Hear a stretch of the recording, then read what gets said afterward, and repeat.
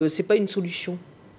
Bien sûr, on a été convaincre les indécis, on a été convaincre ceux qui a priori voulaient voter oui.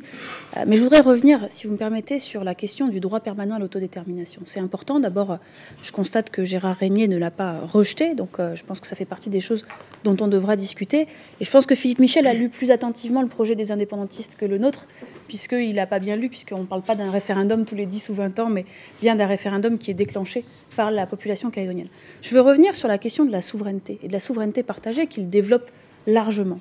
Euh, les Calédoniens se sont exprimés à une très large majorité pour rester dans la France. Ils ne veulent plus de cette marche forcée vers l'indépendance que leur impose Calédonie Ensemble en voulant continuer à transférer une partie des compétences régaliennes.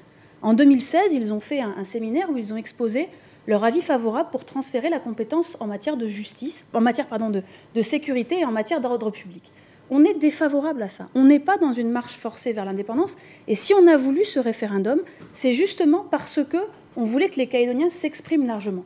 Par contre, il y a réellement des choses sur lesquelles on peut encore avancer. Et la France a permis des avancées extraordinaires pendant les 30 dernières années.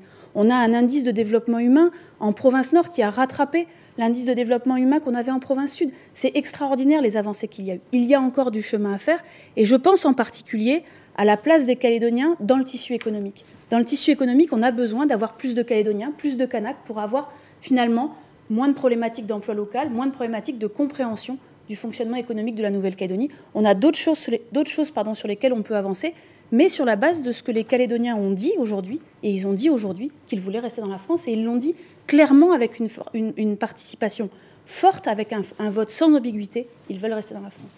Merci.